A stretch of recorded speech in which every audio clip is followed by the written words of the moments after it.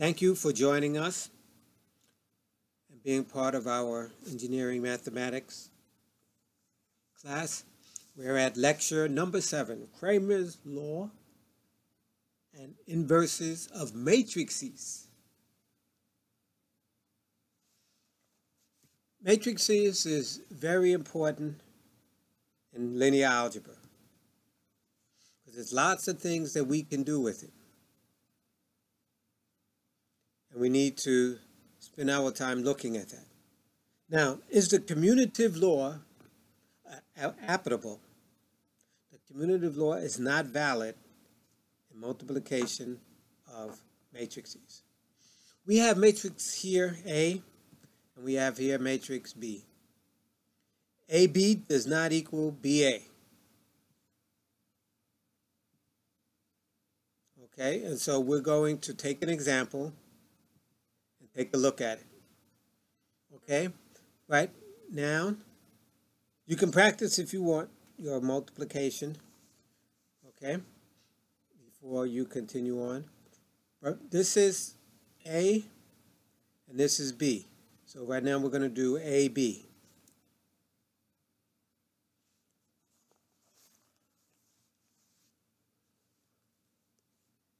multiply row times column. 3 times 5 plus 1 times minus 7. Then we go minus 4 times 5 and 2 times minus 7. We also go 3 times 2 and 1 times 3. Then we do minus 4 times 2 and 2 times 3. And what we get is 8, 9, minus 34, minus 2. Now what happens if we change this order and we use BA? Let's see.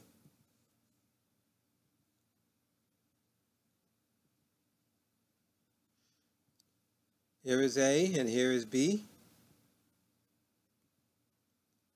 And this time we're going to be using B first and then A.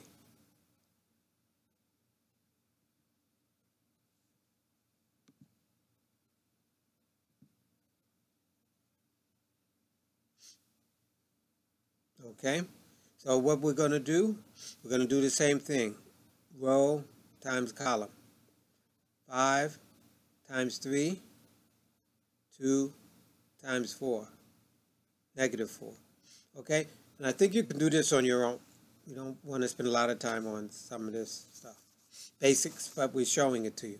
So you're seeing that we're getting 3, we're getting a 7, a 9, a minus 33, and a minus 1.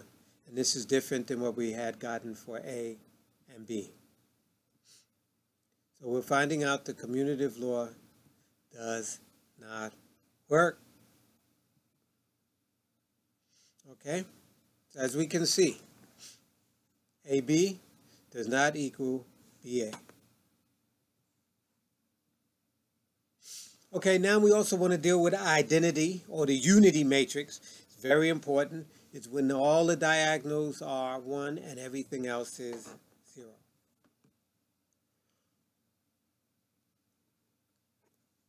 You can use this, and this tells you whenever i equals j, or when it's a diagonal, it's always 1, and when it's not equal to ij, then they're all zeros for the identity matrix. Okay, what is important? We can use the, um, the commutative law on the identity times the matrix. Got to be square matrix. So we can do IA is equal to AI, which equals A.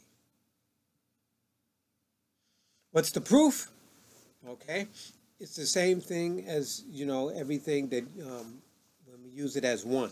So when we say the inverse of something, it says that we can also take the, and then um, matrix and then take the inverse and will always equal identity or 1.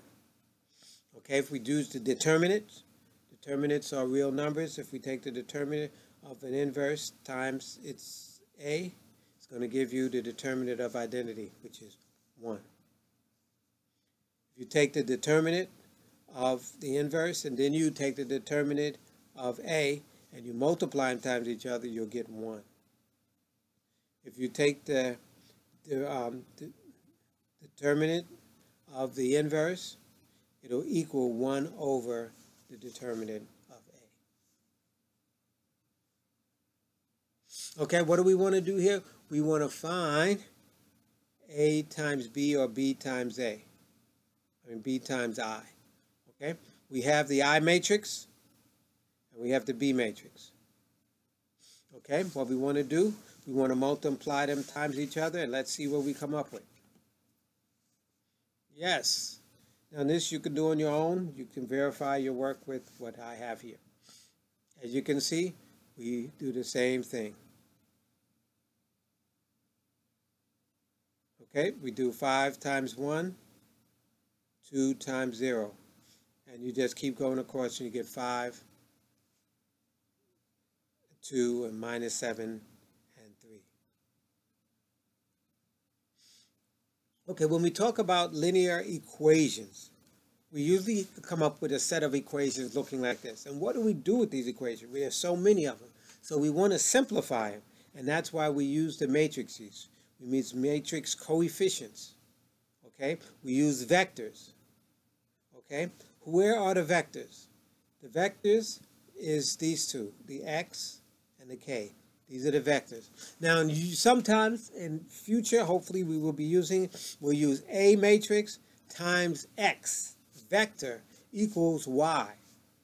Right now we're using K, but that would be just like the MX plus B equation, okay?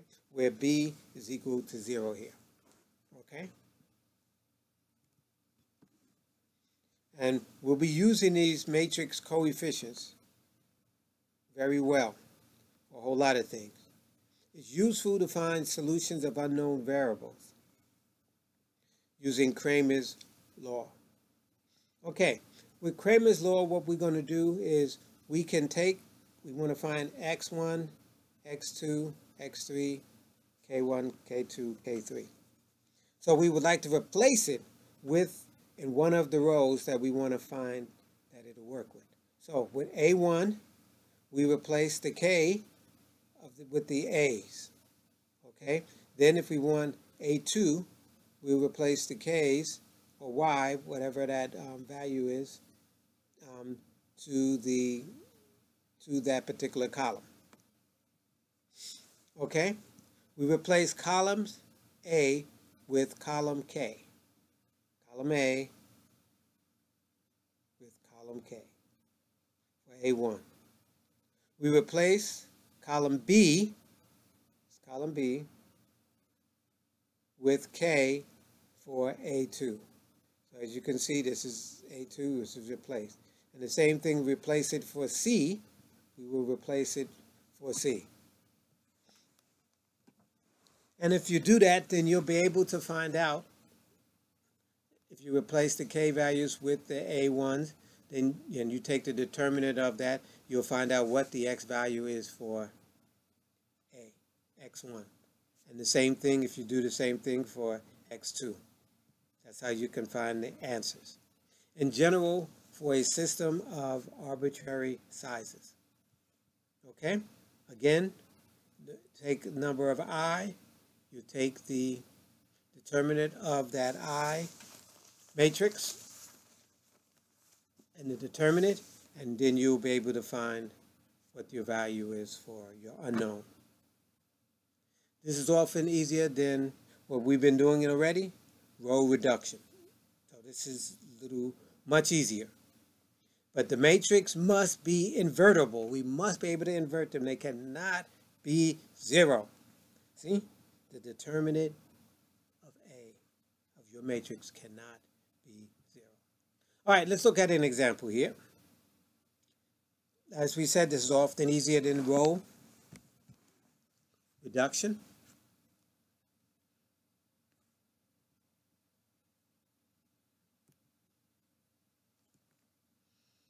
Okay, we have here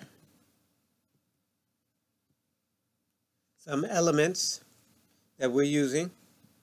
We want to here, we find, first thing we want to do is find what is the determinant of A. Okay. We studied what the determinant is. Okay? We want to see what this value is here. Okay? Then we will block out that row in that column. And we'll be just left with this area here. Okay? And that's what you'll multiply times that value. Then you'll go for the next one. And you, you always use minus, plus, minus, plus. You're going to use a minus 1. Okay? And you're going to cross off this particular row and column. Okay? This row and this column. So you get your 1 and your 2 and your 3 and your 1. Okay, and we continue this.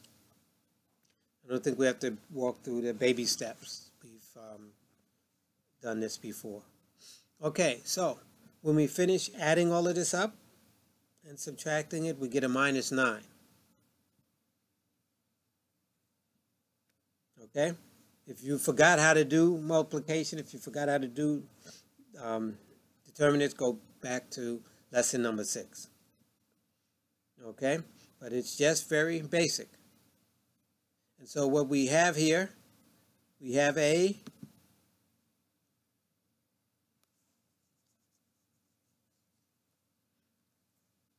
And so here with A, we want to find out what is the value of A. You see here K, which we have here, as we'll be calling B here. We substitute that with the A line. I'm calling it A1 with small a. Okay, we do the same thing. We eliminate these rows in column 1, 1, and all we got left is the minus 1, the 2, the 1, 1. Okay, we multiply that times 2, and we keep doing that. Don't forget your negative. And see, we were using the 0, so that's going to go to 0. Then we use the 3, and then we'll have this area right here. Okay, and we get a negative 6.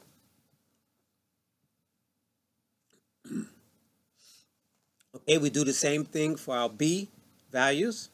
Okay, we're going to replace the um, K column with the B. That's 203 is the one that it gives us. And if we multiply this out, we find out that this gives us a minus 8. Now you can go back and recheck all of these and see how they work. As you can see, we can take any of these particular values that you would like. Okay, then we do the same thing for C. Okay, we're replacing the C values right here with 203. So you see, only 203. Everything else is remaining the same.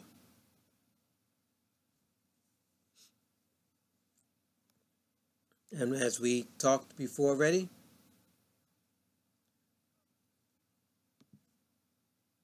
okay, and as we multiply all this out, we get a negative 1 for C. So then we're finding the value for x1, x2, and x3. And what is it? It's the value determinant of a1, the determinant of b1, the determinant of c1, all divided by the determinant of the A matrix. And this gives you 2 thirds, gives you 8 ninths, gives you 1 ninth. So, can we check this? Okay, let's run a little check. This is um, one of the original equations. And so, all we do is substitute these values in.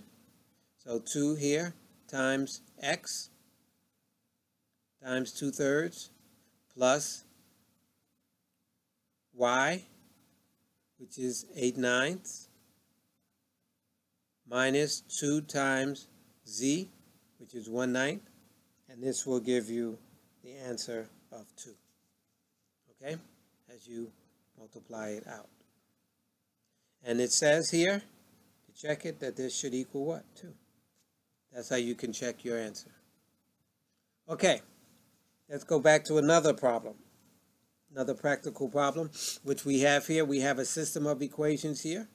Our x1s, x2s, our x3s and our k's. We're going to do the same thing. So from this major matrix, this is what we get, our m, and this is our k.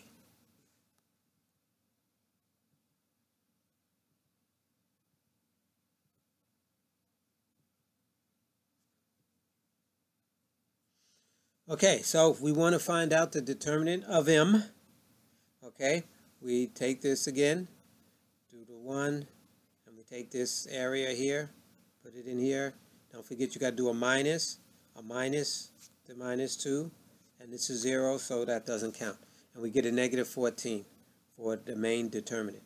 Then we do the same thing for M3. It says let us find X3, so we want to do this for M3. Okay. We do this for M3. And as we continue, we get a negative 3 for what x3 is. Don't forget, this is, gives you 42. And then we're going to divide 42 by what? By the main determinant, which was a minus 14. Okay, gives you 6 over minus 2, which also equals a minus 3. Okay, we have some definitions we would like to go over. Matrix, A has to be singular, if and if, and it's only singular if and if it's A equals 0. A matrix is invertible if and only if A does not equal 0, because you can't divide by 0. So that's the real key. And we only use the square matrices that can be invertible. Okay? If A is invertible, then the determinant of the inverse of A, 1 over the determinant of A. And that's how we're using the inverse. Okay, we've been talking about we want to use the inverse. We haven't used it yet. But we're going to use some of the tools that we learned last week and what we're learning this week, or what we learned after um, earlier this week. The inverse of a matrix is useful in many problems in linear algebra. Okay, techniques. We're going to use two different techniques to finding the inverse. We'll use row reduction as we did before.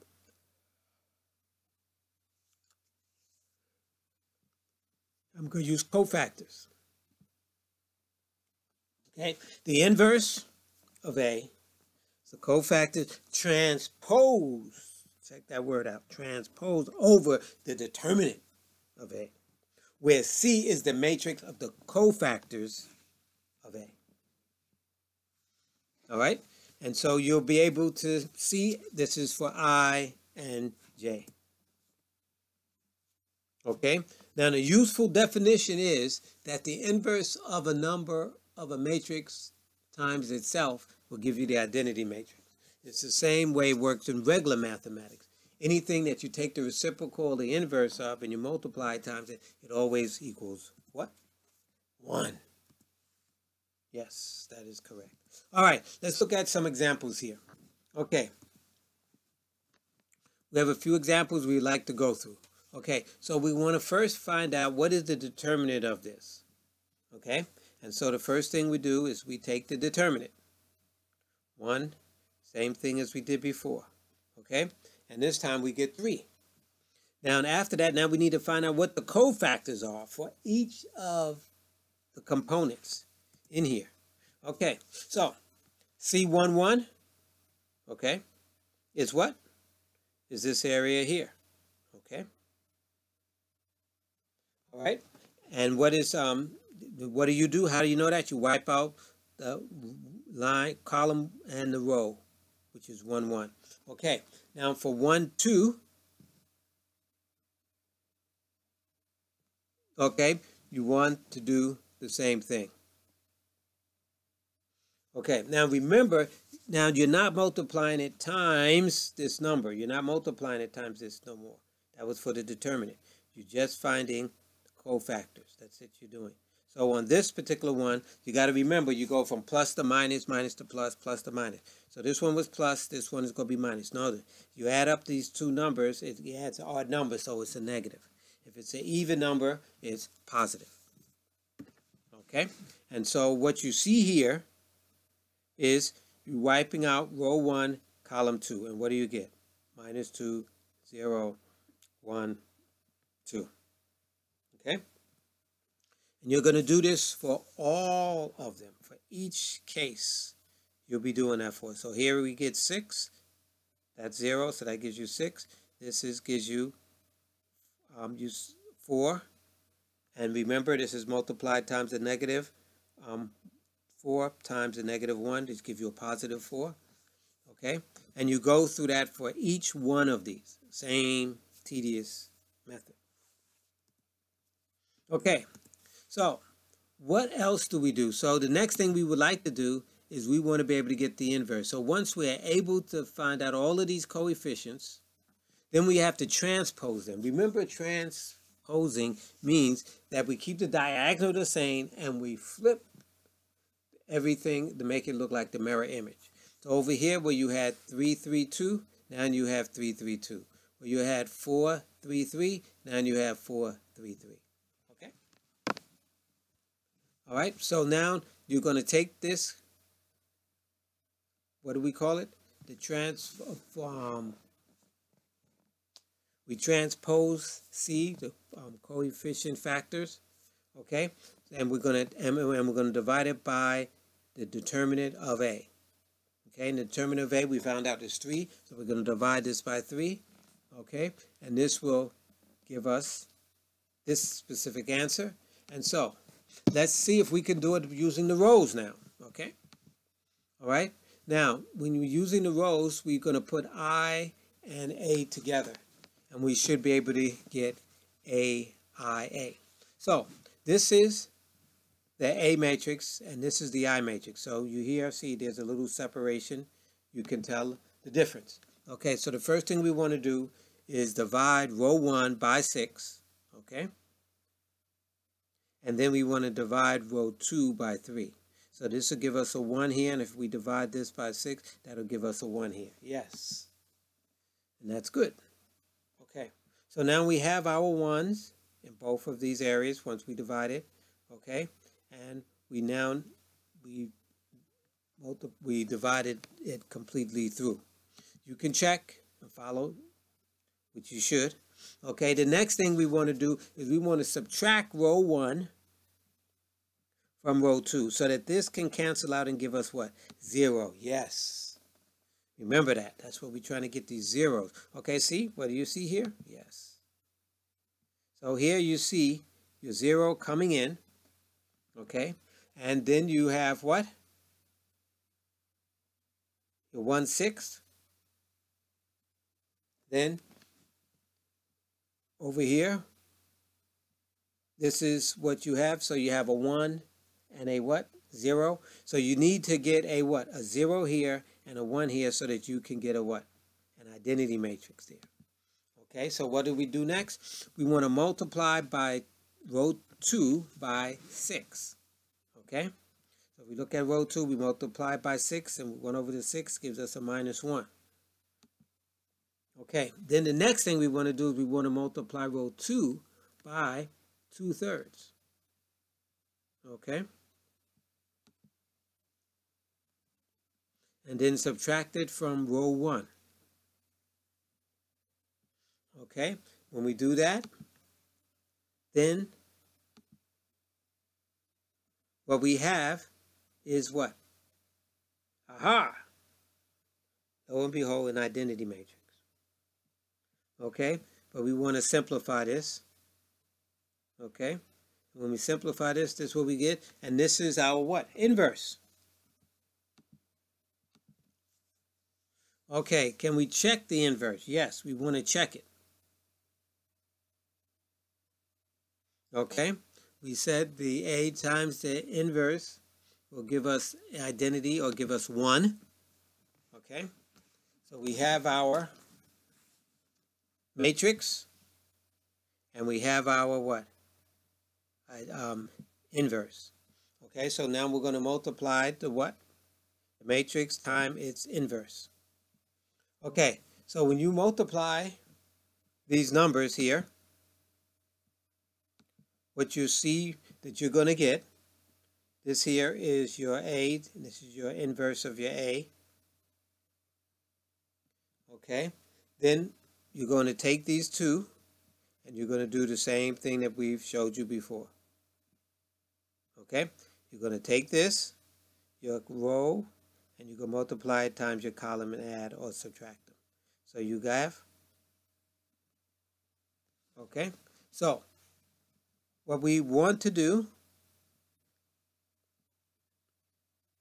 is be able to see how this specifically works. Okay, so we get 10 minus 9, which gives us 1. Okay, so when you multiply these together, guess what you get? This matrix.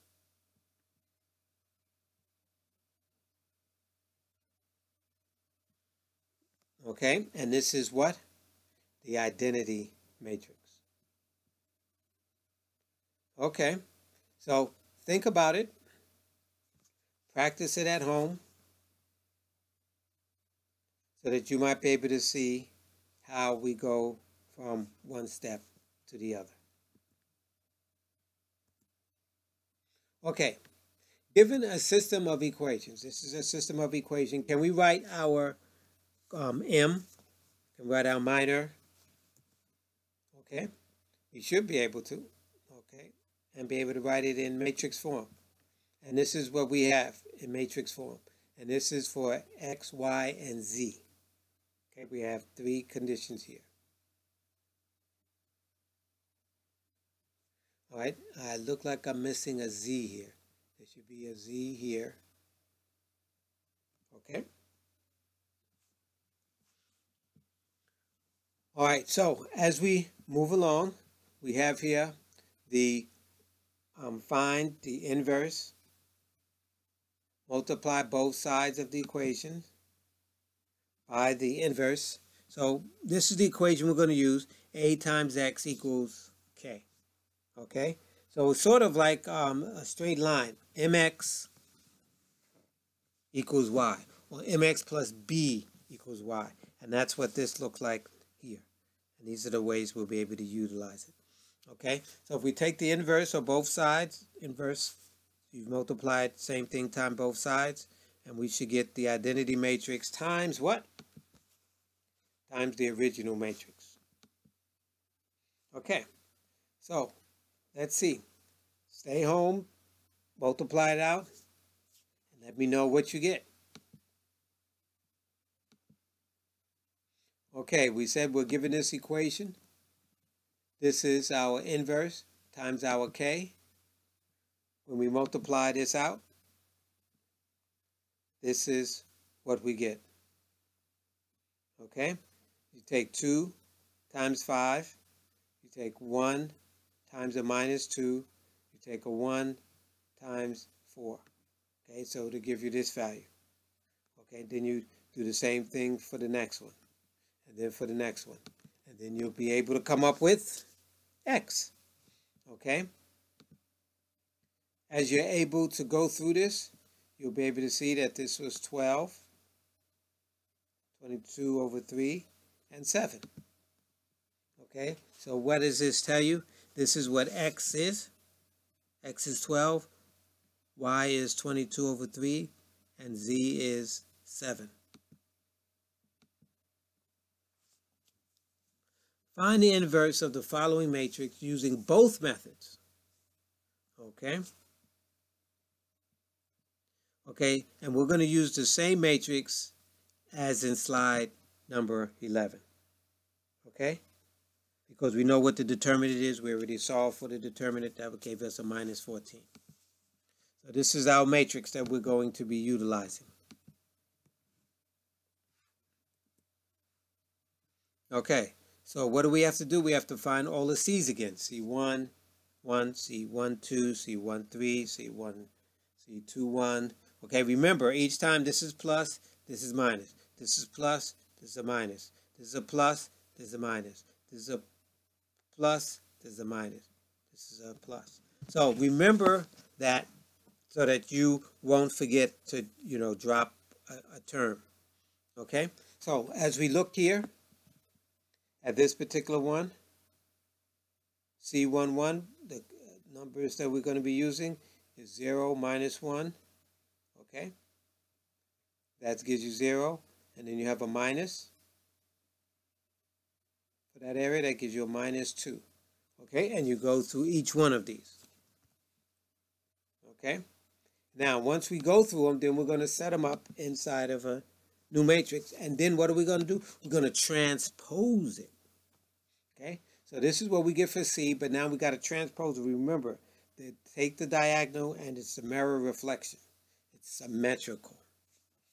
Okay? All right. So the next thing that we look at is once we have the, co um, the coefficients or the co um, the factors of our matrix, then we're going to divide by the determinant of A. Okay, we found out the determinant of A was negative 14, so we divide by 1 over negative 14. And this is our particular answer. Okay? Now, remember you have to what? Transpose. Okay, so the originally one that we have here, okay, as you can see, the twos are at the top. That's how you know it's transposed. Okay, and all we did was multiply by negative. So then all of the signs here that negative turn positive, positive, these turn negative, okay, and this negative, these turn positive. So that's all we did. Now we're going to have to check it with the other one, okay, using the reduction. Okay, if we're using rows, how will we proceed? Okay, we'll do the same thing. We'll separate the two. So over here we have the identity matrix and we have our A matrix.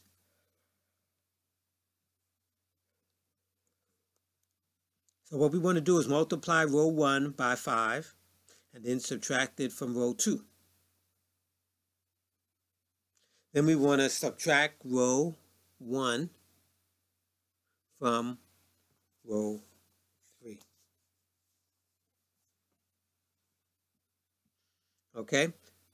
Now, if you multiply this times 1, you'll get a positive 1 here, positive 5 here, and you'll be able to, what, add and subtract and get some of these things to go to 0. And the purpose is that's all you want to do. Now we want to add row 2 and 3 together. Okay, when we add row 2 and 3, this is what we get.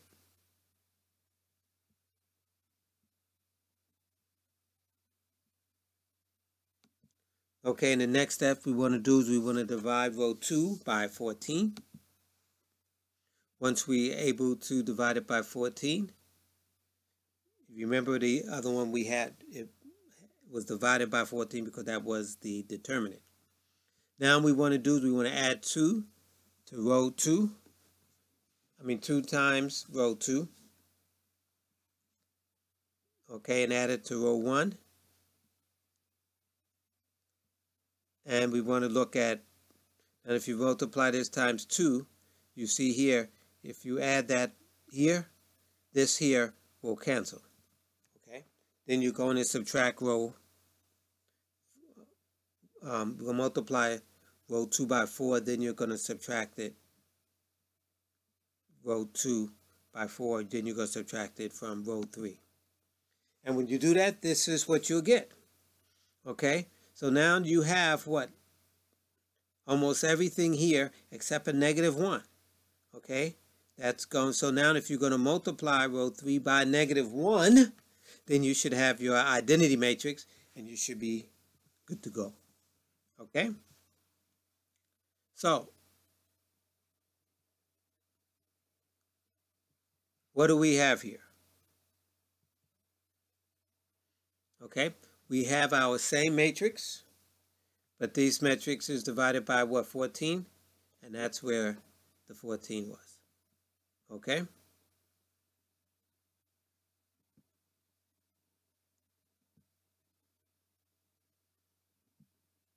All right, so the next thing we want to practice another problem. Okay, let's see what we can do here. Okay, we're going to find out for the system of set of equation, we're going to use the inverse. So now we're going to use all them cofactors again. Okay, so we're going to have A. Okay, this is our systems of equation. We have our A matrix and we have our K matrix. Okay, and we're going to take